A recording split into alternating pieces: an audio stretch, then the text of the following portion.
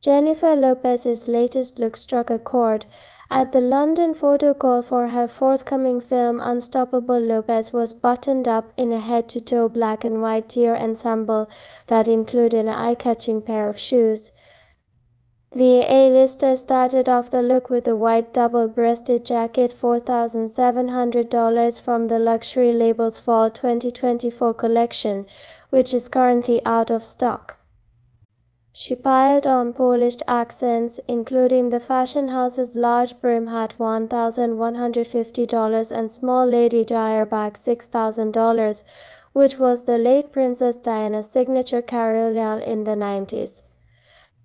A stark contrast from her other understated pieces, Lopez's head-turning D-Idole heeled boots $2,490 boasted a quirky backless silhouette the knee-high shoes feature gold heels and straps going up the back, leaving space for cutouts along the calf. Lopez arrived in her signature glamorous makeup look, which featured glowing skin, long lashes, and nude lips. On the red carpet, the on the floor singer posed with wrestler Anthony Robles and his mother Judy Robles, the family that the sports drama